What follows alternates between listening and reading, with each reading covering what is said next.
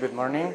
I would like to talk about the screening software of the MS39 and the applications in keratoconus, especially in intracorneal ring uh, segments. So, as uh, Dan was saying, it first uh, started with the keratoconus uh, screening software of the Sirius, which was uh, published in 2012 by uh, Dr. Maria Arbeláez and the team of CSO, uh, which now has had some uh, modifications. So something that uh, we are going back to is uh, the uh, new maps that were used in different topographer years from many years ago. So I would like, I asked some people that if they feel comfortable with these uh, uh, maps that we have, tangential and anterior maps, when we are trying to identify the location of keratoconus. Well, I'm not uh, pretty happy when I see different kind of maps.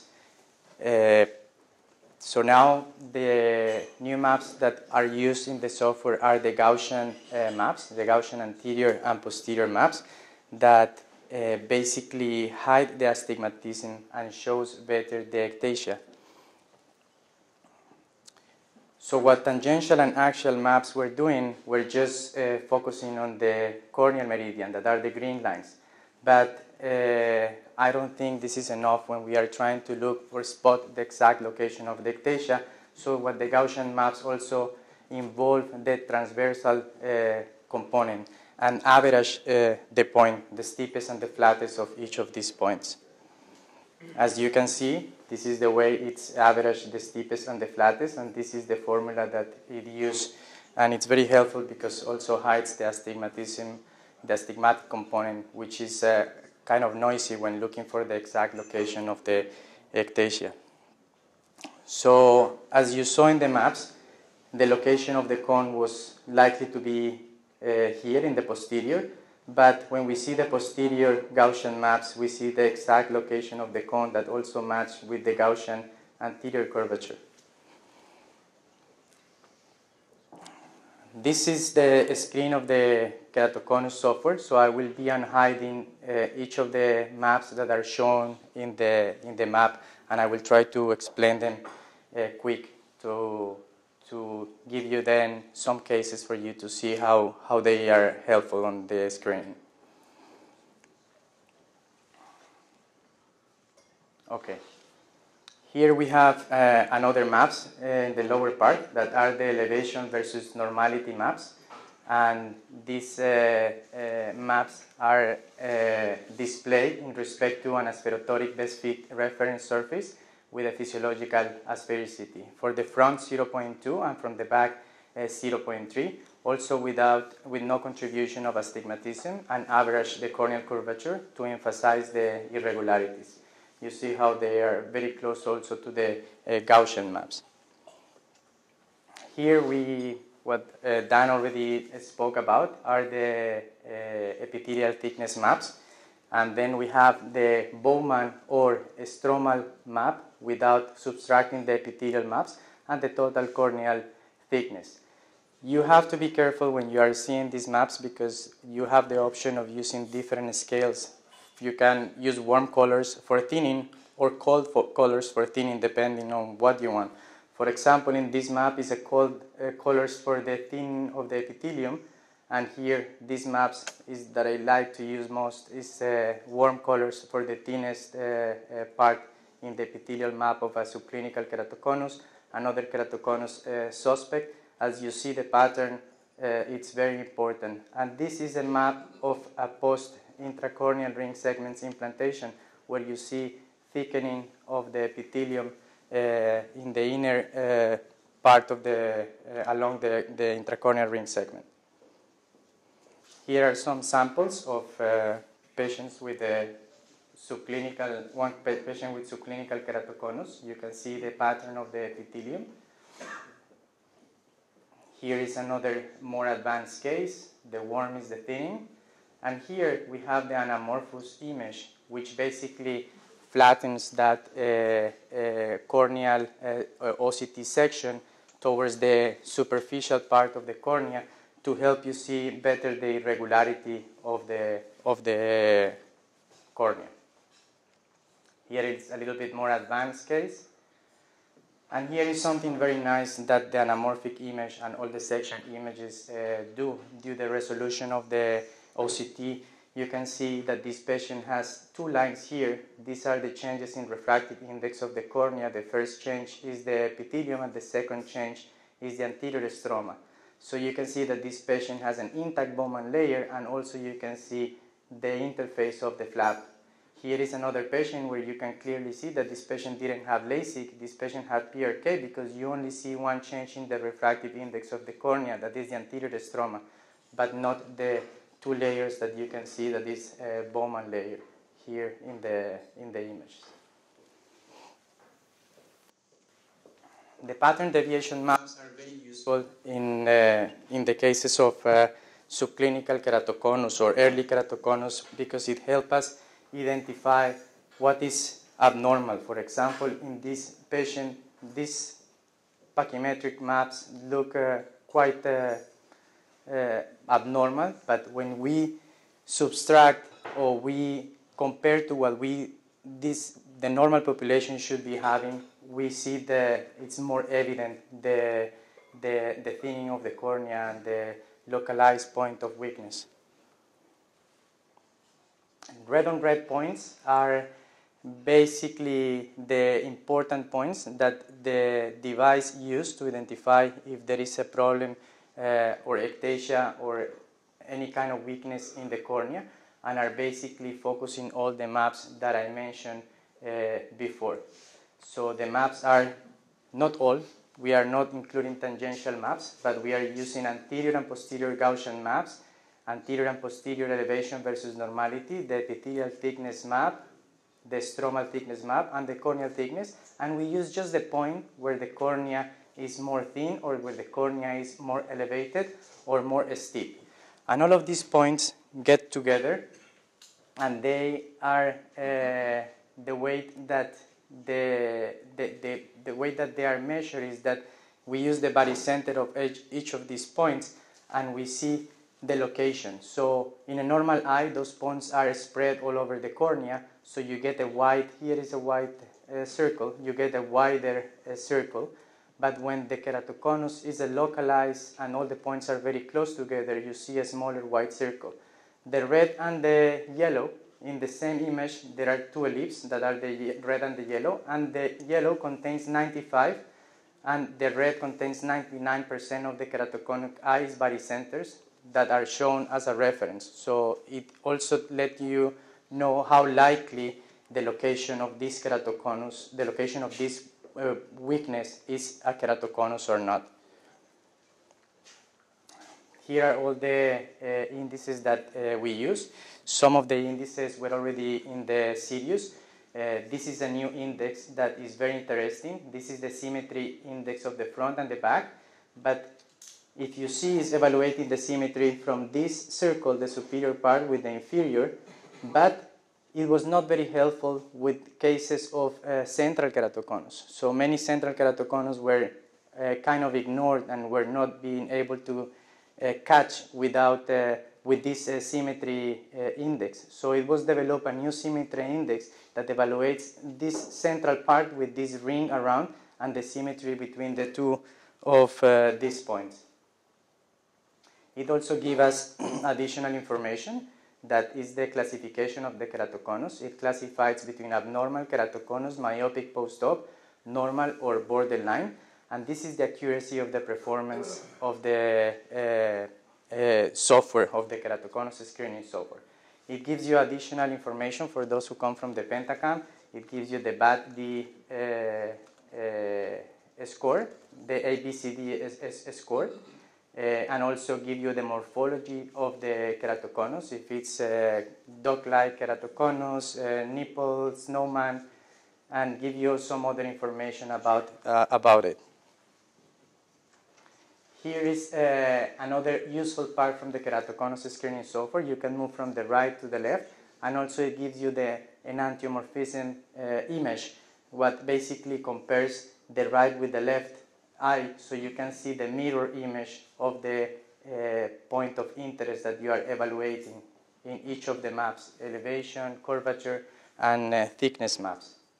So see, this is the actual software. So you go here to Other, and then you uh, use the uh, intracorneal ring uh, segments uh, option that will help you to, to plan this uh, surgery. You can select between one or two ring segments.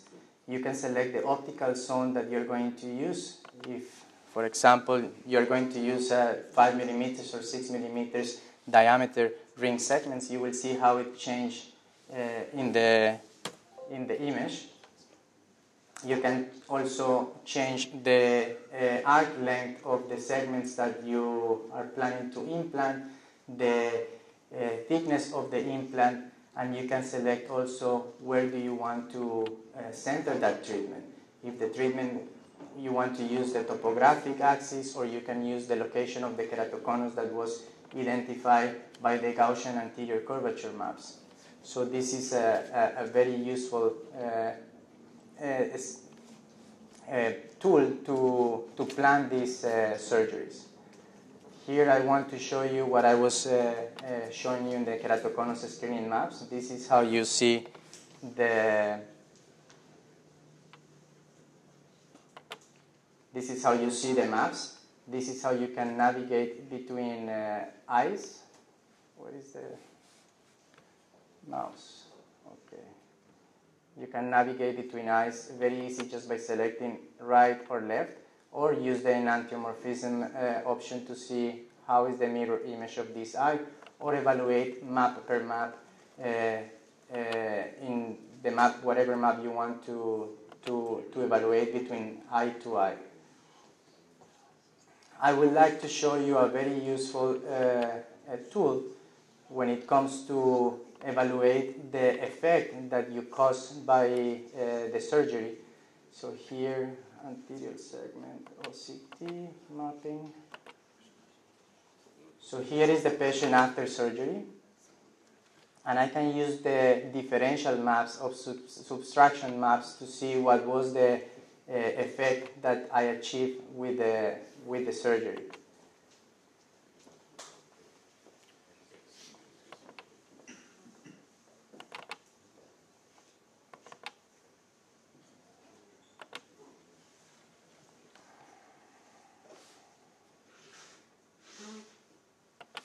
I can select the map that I want to, to, to show, if, even if you're, whatever you're, if you're used to the tangential maps or sagittal anterior uh, curvature maps.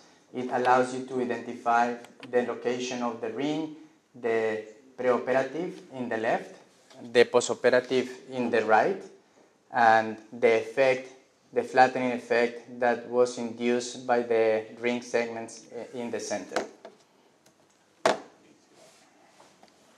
So here are some cases that uh, uh, were very useful for the identification of the location of the conus and the place where I wanted to, to center the, the segment. In some cases like this uh, duck phenotype keratoconus, you have a big difference between the axis of the topographic coma and the, and now with the red on red or the points that are helping us uh, to identify the real location of these conus with this screening software, it allows you to tell exactly where do you want to uh, center your your uh, ring segment.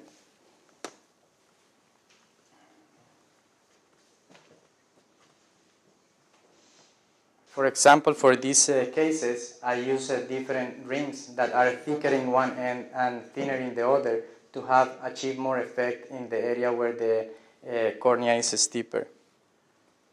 This is another case you see that it was very helpful, the Gaussian uh, maps, anterior and posterior, to identify, and the red on red points, to identify the exact center where I wanted to uh, place my uh, ring. And here are some other uh, examples with the, with the preoperative, with the preoperative and postoperative, pre-op, post-op, and the flattening effect induced by the intracorneal ring segment. Here is how you can clearly see the high definition of this uh, OCT. In, this is a patient who had an ectasia post uh, LASIK. So in red, you see the stromal uh, component of the flap. In blue, you see the epithelial uh, map, just the epithelial uh, thickness. And even in green, you can see uh, in the right part the tear meniscus in this patient, and you can evaluate the, uh, the depth of the implantation of the rings and the location.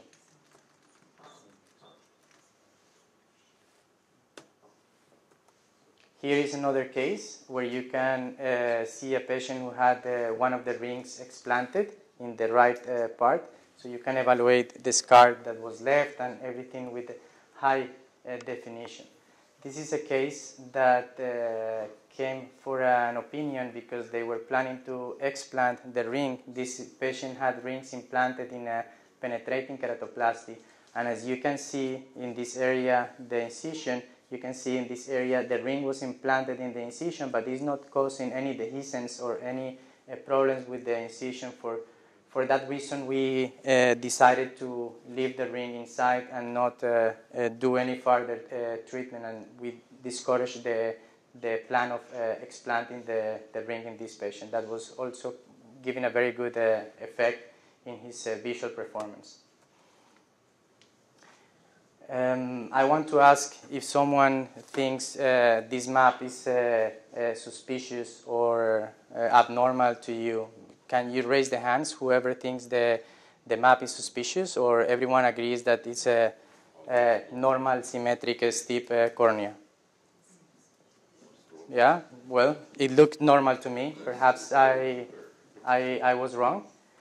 So when we have the the rest of the maps, we can clearly see that uh, the, the pattern deviation maps are showing that something is going on in this area. So I wanted to compare it with the, with the left eye. Sorry, I don't have here the image.